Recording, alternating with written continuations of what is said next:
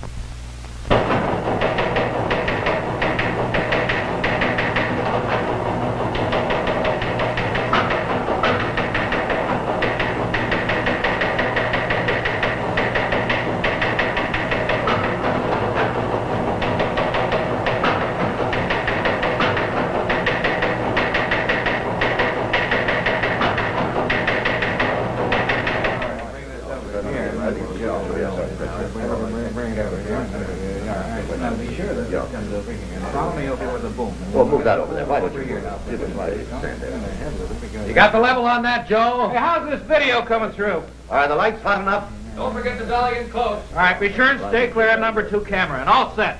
Stand by.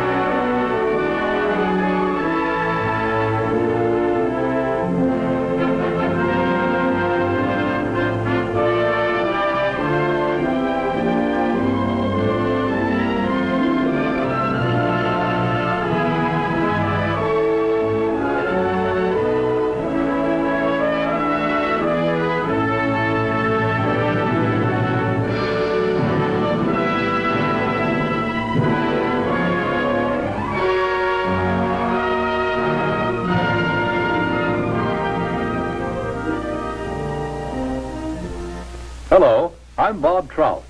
I've got a story here that I think is big, really big, because it's bound to have a terrific impact on business. I'm talking about a new market, a big new market, millions upon millions of new prospects with $15 billion to spend. That's right, I said 15 billion.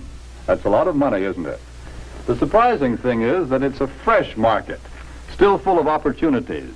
It grew up so fast got so big in a hurry that few of us realize its scope. Now, these days, nobody's likely to pass up chances to sell. And yet, right here in our own front yard, there's a neglected market. There's money waiting to be spent. To get the story of this market, to be able to tell you the secret of selling the Negro, we did a lot of digging. We talked to leading businessmen, to customers, and to salesmen. We went to Washington, D.C. We set up cameras and other key points around the nation. And out of this all, there emerged a story, the story of a new market.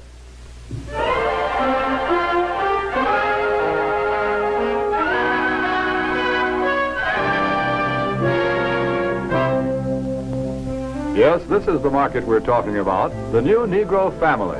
Their name is Wells or Wilson, Smith or Brown or Alexander or Breen. They live in Chicago, in Atlanta or New York, in Detroit, St. Louis, Los Angeles, any one of a thousand cities and towns. All over the country, families such as this are enjoying new prosperity. They have new interests, new standards of living, a buying power they've never enjoyed before. They're good prospects for practically all types of goods and services. All too often, though, they're overlooked prospects. Why? Because of some good, valid reason? No. They're overlooked because of mistaken ideas, because of out-of-date ideas about how the Negro lives and how he buys. The truth of the matter is that the Negro lives pretty much the same as other folks. He buys pretty much the same way, too. But just the same, a lot of old doubts and opinions keep cropping up over and over again. Ah, I don't like to do business with Negroes. They're drifters. You can't keep track of them. Yes, although a lot of people think that way, the truth is that one out of every three Negro families living in cities today owns its own home. That figure comes directly from the United States Bureau of Census. Uh, maybe so, but Negroes are poor credit risks. Not more of a credit risk than any other group. Actually, the Negro homebuyer meets his payments faithfully, often more faithfully than other race groups in the same economic level. That's the information we got from people who ought to know, the National Association of Real Estate Boards. Well, maybe, but I've always heard that Negroes buy shoddy, poor quality merchandise. No, it's just the other way around. According to leading researchers, in proportion to population and income, Negroes buy more quality products than any other comparable United States group. You see, there are a lot of confused notions about the Negro customer. But when you dig right down and find out about them, they just don't hold water. Negroes own homes. They meet their payments faithfully. They buy good brands of merchandise. So why let a lot of old-fashioned ideas hurt profits? Take a look at the real facts. Here in Washington, D.C., the nation's capital, some amazing facts and figures about this new market have been uncovered. For a first-hand report, we would like to take you directly to the United States Department of Commerce to hear this story from the Secretary of Commerce himself. Here is the Honorable Sinclair Weeks, the Secretary of Commerce of the United States. In the Department of Commerce, we are constantly alert to trends that mean a healthier national economy, better business for the nation as a whole. Recently, we have been interested in a rising young market, one that represents a huge potential for goods and services. I'm referring to the new Negro market. The tremendous buying power of this group is backed, of course, by an increased earning power. The average Negro family's income is at a record high. In fact, since 1939, it has increased more than the average income of all other Americans. Just take a look at a few figures. An official Department of Commerce report shows that at least one-third of the Negroes living in cities earn from two to five thousand dollars a year. Today, the average Negro wage earner brings home a paycheck four times larger than the one he collected in 1939. As a whole, the Negro market has a total income of about $15 billion every year. And after taxes, Negro families still have many billions of dollars to spend. Here is a buying power that cannot help but have a tremendous effect on our national economy and on business prosperity in general. When these dollars are spent for a wide range of goods, services, and employment, business everywhere is bound to feel the impact. This new buying power has resulted in a class Negro market, a profitable, above-average income group of consumers. For example, the nation's largest newspaper and magazine research organization, Daniel Starch and staff, reports these significant figures. More than 51% of the readers of Ebony magazine have a record player in their homes. Almost 64% own a television set. And almost 78% enjoy the convenience of an electric refrigerator. It is also a fact, and this is from the magazine The Food Field Reporter, that Negroes spend almost $3 billion a year for food alone. Per capita, they buy more cosmetics, drugs, and toiletries than anyone else in the country. And their children are better educated, too, because since 1930, enrollment in Negro colleges is up 2,500%. But really, to recognize the importance of this class Negro market, we must realize that something has been happening economically in our country. People are on the move. The population is shifting. The makeup of metropolitan populations today is different than it was just a few short years ago. To give you a better idea of what we mean, we set up several cameras, candid cameras, in a number of shopping locations. Take a look at these shoppers.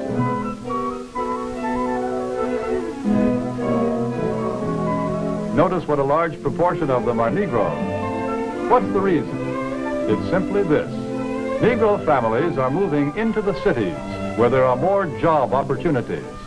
Here they find occupations with more prestige and security, jobs that pay more money. As a result, Negro families today often make up the largest part of Central City consumer prospects. A shoe store in Chicago's Loop, for example, reports that more than 50% of its customers are Negroes. In another case, a drugstore located at a transfer point in a non-Negro neighborhood finds that its Negro customers total 25%. The trend is plain.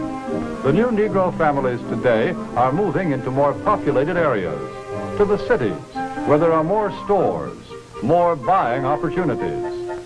Since 1940, in San Francisco alone, the Negro market has increased by 89%. In Chicago, by 81%. Houston, Texas, 45%. Philadelphia, 50%. The impact of this new buying force is so tremendous that actually in 14 major United States markets, a product cannot be number one without Negro support. A product must have the backing of this big new buying power to be a leader in the field. What do you have to sell? Chewing gum or cars? Toothpaste or transportation? Whatever it is, here are millions of prospects. And these prospects are everywhere. Negro customers can no longer be pigeonholed. They cannot be classified as prospects who trade only in certain stores certain neighborhoods. Today, Negroes shop downtown. They shop in supermarkets. They shop in small neighborhood stores. They'll buy from anyone who wants to sell to them. But we all know that before you can sell to customers, you've got to get to know them. You must understand something about them. What do the Negro customers buy? Why do they buy? How do you sell to them? Let's find out. Let's hear the opinion of men who have spent a lifetime studying the buying habits of customers the world over. Here is what sales psychologists have to say about selling to the Negro. The secret of selling to the Negro is expressed in one word. That word is recognition. Now, there's nothing unusual about that. People want to be recognized. They need recognition. That's basic in all of us. But perhaps because he's had so little of it, the Negro needs even more. He needs to feel important and appreciated. This need is a very real and important one. It shows up even in many of the Negro's shopping habits. Anyone who sells or wants to sell to the Negro customer should know about some of these habits. Three habits in particular play a big part in every sales transaction. To begin with, most Negroes buy by brand. They ask for products by name they're quick to turn down off-brands. Do you wonder why? Well, listen to what this customer is thinking. Hmm. That last hat I bought just didn't hold up at all. You see, for a long time, the Negro has been sold a lot of shoddy, second-class merchandise. So now he asks for name brands in order to make sure he gets his money's worth. Buying by brand that's the first important Negro buying habit. Now for the second. The Negro buys good quality merchandise. Symbols of quality and prestige are very important to the Negro customer. This woman, for example, is buying fine crystalware. But she is also buying the admiration and approval of her friends and relatives. Listen to her thoughts. My, isn't it beautiful? I can hardly wait to show it to Sally and Joan. It's a well-known fact that many Negro customers are influenced by the opinions of others. What their friends may think of a certain item often decides whether or not the sale is made. So remember, the Negro buys quality merchandise. That's the second important point. And here's the third thing to remember when selling to a Negro customer. When he specifically asks for one thing, don't try to sell him something else. Don't try to switch him at the point of sale. If you do, he'll probably react something like this. Doesn't he think I've got the money to pay for it? There's a reason for this reaction. Again, because he's had experience with cheap merchandise, the Negro resents being offered a substitute. He wants to be sold on quality, not price. The Negro buys by brand, he buys quality, and he doesn't like to be switched at point of sale. These are the keys to selling the Negro customer. Another point. The Negro family does things together, as a group. The family works as a unit. It lives as a unit, and it buys as a unit. When you sell to one member, you many times sell to all. It's also true that many places of entertainment are still closed to the Negro. So he spends more of his money for the things that are available to him, often for items that are considered luxuries. Another trait of the Negro market is the fact that it is a pre-sold market. We know that the Negro buys by brand, and he buys the brands that he knows something about. Where does the Negro buyer get this information? We know that Negro customers are turning more and more to the publications that are tailored specifically to their needs, that give them the news and the information that they want to read about. Many leading businessmen and companies already know this. That's why so many of them are taking this direct, sure route of reaching the Negro customer. The vice president of advertising of the Gruen Watch Company, for example, says this. In many important cities throughout the United States, Negroes are important customers of the credit jeweler. Therefore, it seemed that Ebony magazine would be a very important advertising medium for us. We would say it was very well received, and from our viewpoint, a very successful campaign. From the Remington Rand Company comes this statement. Our records show that advertising in Ebony has been effective in many ways. As all good advertising should, it has built a terrific amount of goodwill and has brought a volume of sales and sales inquiries. A representative of the Alaga Syrup Company makes this statement. Because of Alaga's regard for the influence of ebony in the Negro market, advertising space was doubled. Alaga's long experience in selling to Negroes now takes the most direct route to its best customers, reaching Ebony's two and a half million audience in every issue. And here are the statements of still other business leaders. Yes, many business leaders are discovering the most direct and most efficient way of reaching the new Negro market. Look here at the results of the same advertisement in two different publications, Ebony and another general magazine. You can see that proportionately, more men and women read the ad in Ebony than the one in the other magazine. And they did a better job of remembering it, too. A greater percentage of readers noted associated and remembered the ad in Ebony. But now, wait a minute.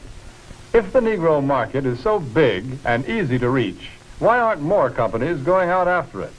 Well, often because of the feeling that there's something entirely different, unusual about selling to the Negro. But is it really so different? What do salesmen say?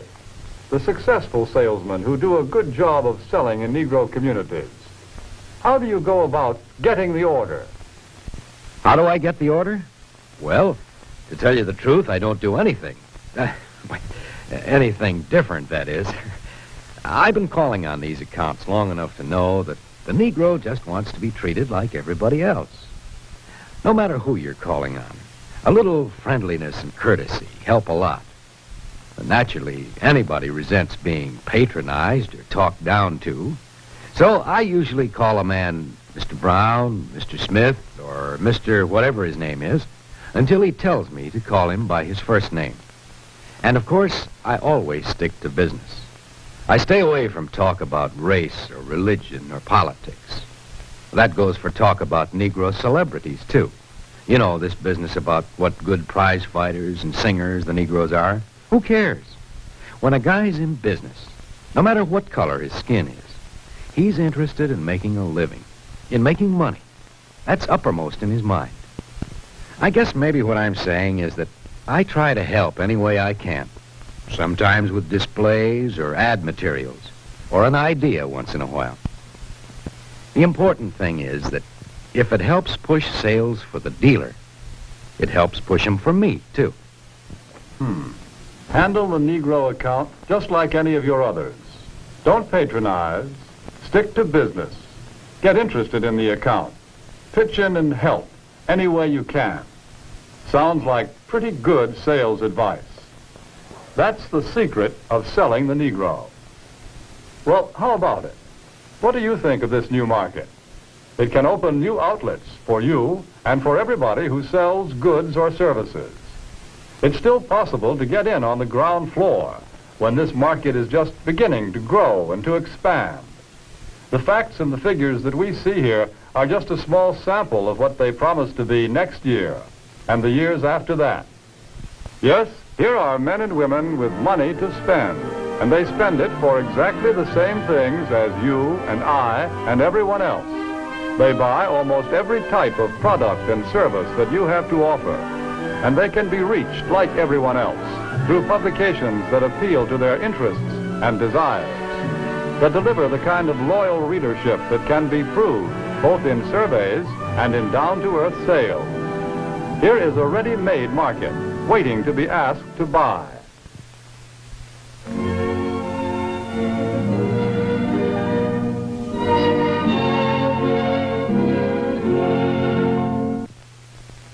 Here are millions of customers for what you have to sell.